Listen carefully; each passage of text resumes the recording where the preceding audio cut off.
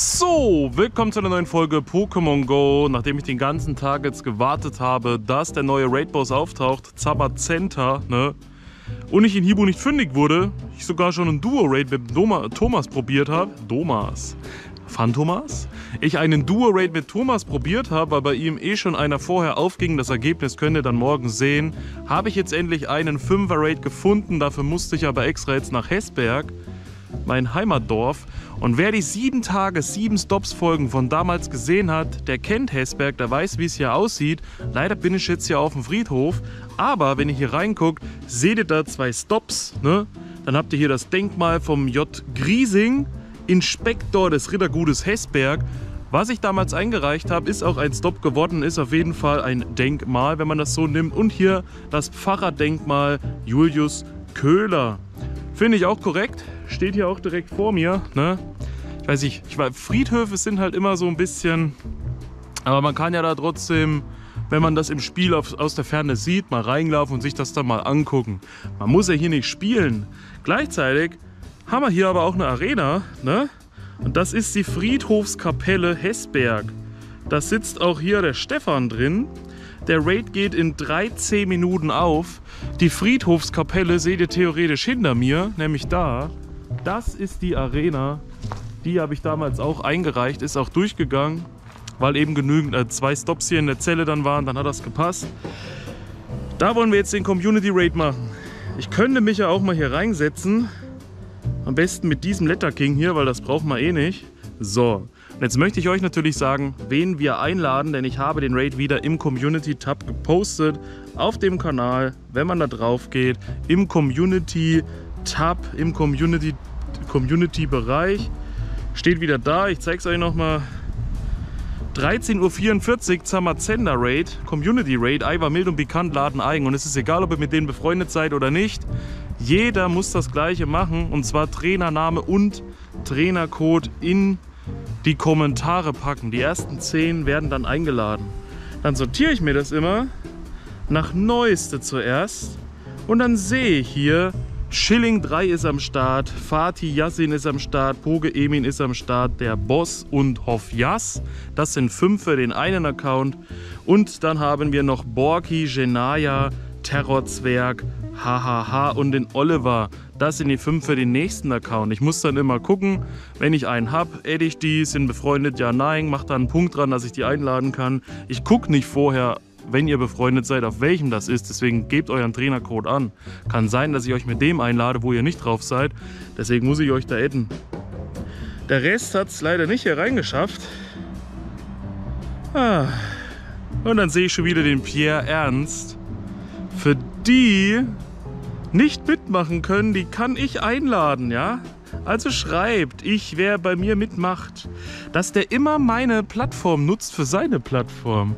Wenn ihr den edit und er euch einlädt und ihr zusammen einen Raid macht und schafft, dann ist das ja vollkommen okay. Aber ich habe bisher noch nie von irgendjemandem gehört, der gesagt hat, dank Pierre habe ich das Pokémon gefangen oder Pierre hat eingeladen oder Pierre hat mir geholfen. Irgendwie bringt der Pierre meistens nur Chaos und Unruhe rein.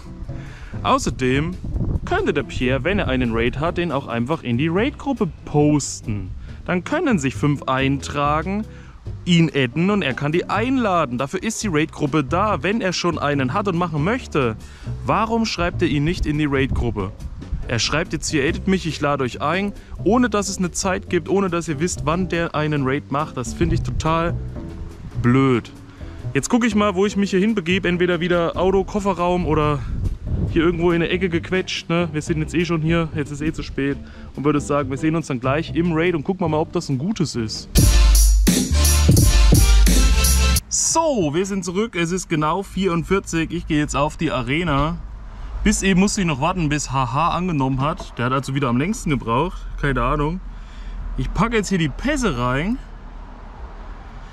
Bei den iPhones muss ich theoretisch wieder zuerst rein, da muss ich jetzt einladen. Dafür habe ich mir die Leute natürlich wieder markiert mit einem Punkt. Ich lese sie auch gleich nochmal vor. So. Fatih, Hofjas, Poge, Emin, der Boss Schilling 3, HH Terror, Zwerg, Borki, Oliver, Genaya. Dann schmeiße ich die restlichen drei noch hier rein. Lege mir das alles hier zurecht und ihr seht schon, ich habe auf dem großen Account auch ein Team erstellt Sack Zement A. Ist mir nichts Besseres eingefallen. Thomas hat gesagt, nenn es doch äh, die. Nenn es doch zarte. Ne, warte, was hat er denn gesagt? Zahmer Zender, zahme Zender einfach. Zahm, ne? Zahm, also nicht so wild, zahme Zender. Das ist noch das Team, was ich drin hatte, als ich den Duo-Raid machen wollte. Da seht ihr Mewtwo, Mewtwo, Mewtwo, Mewtwo, alle mit Konfusion und Psychostoß. Das erste ist sogar Best Buddy mit 100% Level 50.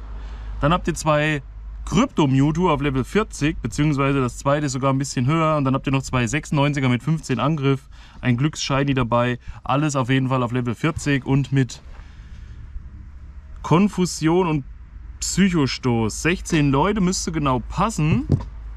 6 mal ich, 10 Eingeladene, also 2 mal 5. Geht genau auf, es sind alle drin, außer es ist jemand Fremdes drin. Wir gucken mal kurz die Lobby durch. Borgi, Terror, Hoffjas, Schilling, Shania, Oliver, Fadi, Boss, Poge, H. Müssten alle sein. Ich habe auf jeden Fall keinen Fremden gesehen. Da seht ihr, da fehlt aber noch ein Pokémon im Team. Ich habe nur 5 und 6. Dürfte aber bei 16 Mann gar nicht so weit kommen, dass wir das letzte noch brauchen. Ich lege das jetzt hier hin. Die WP müssten genau die gleichen sein wie natürlich bei Sackjan auch. Also 21, 88 dürfte das 100er sein. Außer es hat Wetterboost, dann weiß ich den Wert gar nicht. Dann dürfte es aber irgendwas mit 27 sein. Also über 27 wäre dann auf jeden Fall gut. Wir gehen jetzt hier rein. Vom Gefühl her sagt mir das, der sieht irgendwie brutaler aus als der andere, scheint aber leichter zu besiegen zu sein. Obwohl normalerweise, wenn man den anderen sieht, der andere kriegt ein Schwert, ist auf Angriff gerüstet. Da denkt man ja, wenn der viel Angriff hat, hat er weniger Verteidigung. Und wenn der hier ein Schild hat und auf Verteidigung gerüstet ist, müsste der ja schwerer zu besiegen sein. Weil der mehr aushält, aber weniger Schaden macht. Aber irgendwie gefühlt ist es nicht so. Man kann natürlich auch mit Metagross wieder kämpfen. Sakyan hatte eine Stahlschwäche. Wenn ihr jetzt aber Metagross nehmt, solltet ihr nicht mit Stahlmoves kämpfen, sondern einfach mit Psycho-Attacken. Aber jeder sollte, wie gesagt, ein Mewtwo haben mit Psycho-Attacken, nutzt das ruhig. Ihr könnt auch euer Level 50er 100% Psyaner nehmen oder was ihr sonst so habt. Schreibt ihr einfach mal rein, mit welchem Team ihr gekämpft habt, was ihr genommen habt, was eure Pokémon sind für diesen Raid-Boss.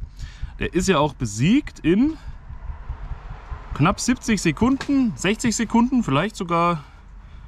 Naja gut, es zeigt uns ja am Ende, wie viel es wirklich war, ging also hier relativ flüssig von der Hand. Ich drücke jetzt erstmal die kleinen Accounts alle durch. Dann sage ich euch, ob jemand was Gutes hat. Und dann schauen wir bei dem Großen nach.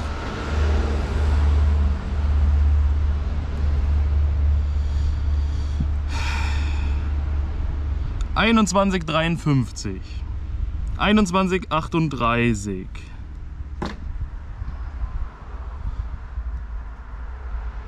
21, 18, 21, 45, 21, 88, das ist ein Hunderter. Das müssen wir eigentlich auch fangen. Bruder, was ist da los? Ich glaube, wir fangen lieber erstmal das auf dem Großen kurz und versuchen dann noch das Hunderter einzutüten. Das wäre auf jeden Fall genial. Für den Großen nehmen wir euch aber mal zur Seite kurz.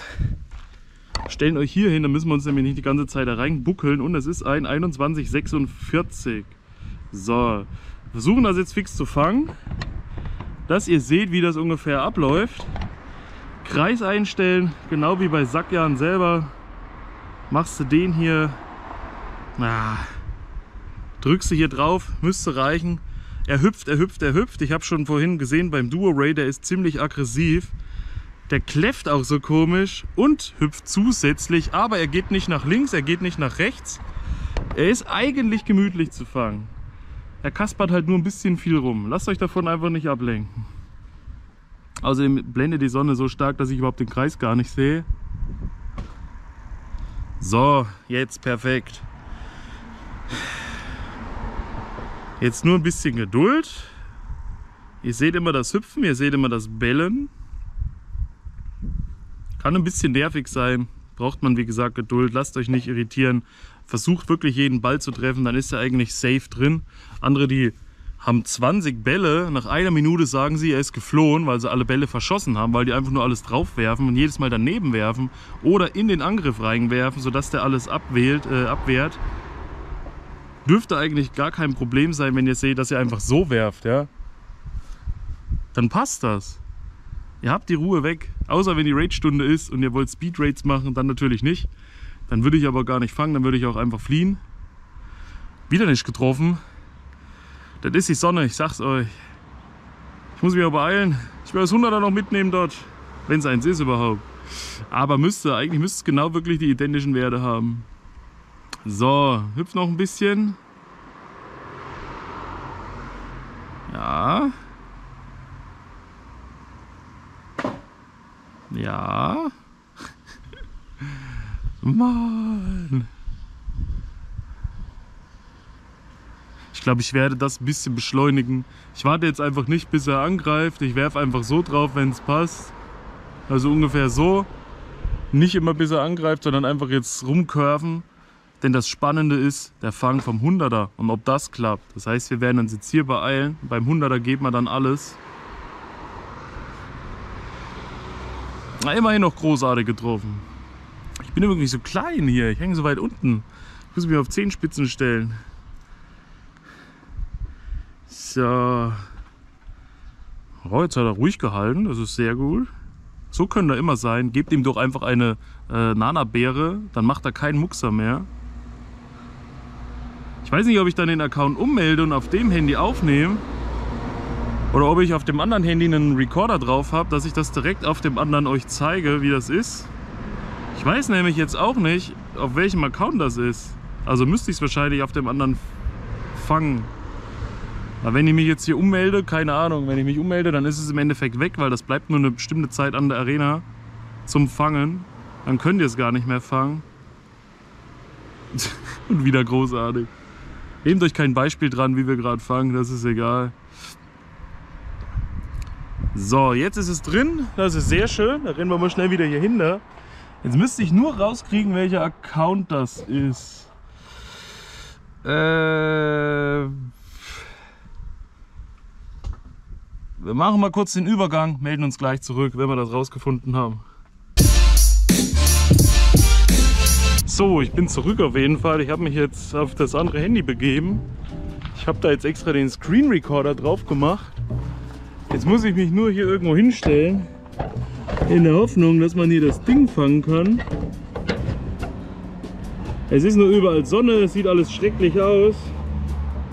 Wir haben jetzt hier 20 Versuche. Ich hoffe, das passt jetzt so mit dem Bild einigermaßen. 21,88. Wir werfen den ersten einfach so drauf. Mit Kreis einstellen, obwohl gut, großartig reicht uns nicht. Das heißt... Na gut, er ist drin. Der Mann war das spannend. Guck mal, Pokédex-Eintrag.